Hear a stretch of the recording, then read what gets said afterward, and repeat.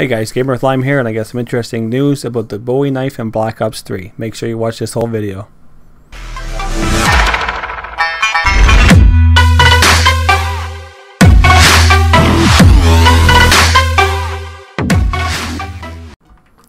Okay guys, many of you have probably seen tons of videos already on this uh, Bowie knife for Black Ops 3 that's actually been seen in multiplayer and actually wondered what this is all about. Uh, how did somebody get it? There was actually rumor maybe it's level 1000 it's possibly somebody got.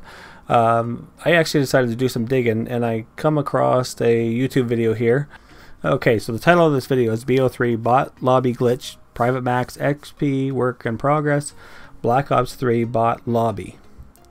So as I go through the article here, you guys will sort of uh, pick up on some things here.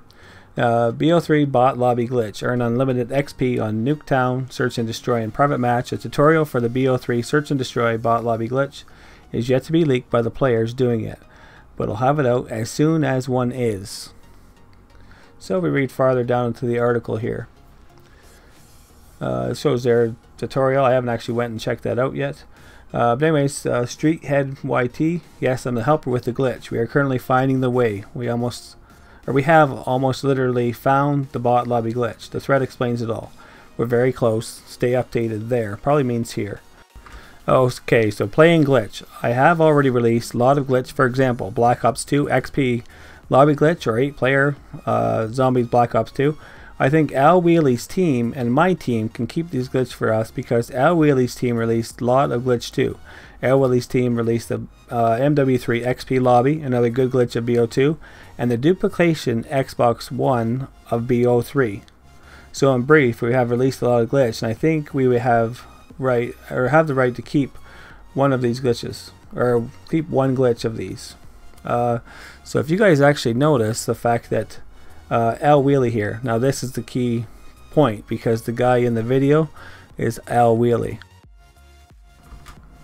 So guys, I did happen to go to uh, theater and pulled up Al Wheely's uh, last game that he had played at the time that I was doing this video.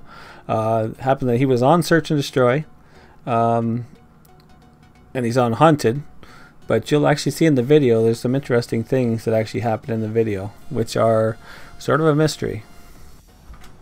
So I actually try and slow down this video a few times for you guys, so I'll actually go back and, and review it here. But when you look here in the start of this video, uh, it actually shows several people that actually have the Bowie knife. It's not just Al Wheely. There's several people in his party that actually have uh, the Bowie knife with them. So there's got to be something going on.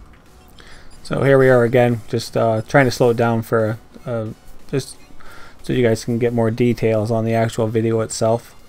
Got a couple more uh, minutes here of footage. I'm not going to use the whole thing because you guys started to get the point. But the fact is, is that uh, this is starting to look like that duplication glitch that they're actually talking about um, in the previous uh, YouTube video that I was showing you guys.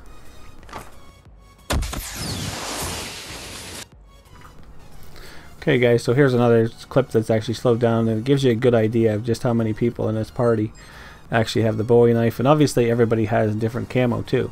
So I don't know exactly what they're doing. Um, I haven't watched the actual whole match. It's just when I went to load it up, this is what I was seeing. So obviously, if this is a guy who's been known to hack before, then you can almost guarantee he's actually found a glitch somewhere in the system or he's actually hacked something somewhere. I don't know how he's done it. Um, I haven't heard of the Xbox One being hacked, but I don't know. Um, I doubt it. It's probably something with the game itself. But anyways, um, hope you guys enjoyed this video. Uh, leave a like and subscribe if you like my content, and I'll see you guys soon.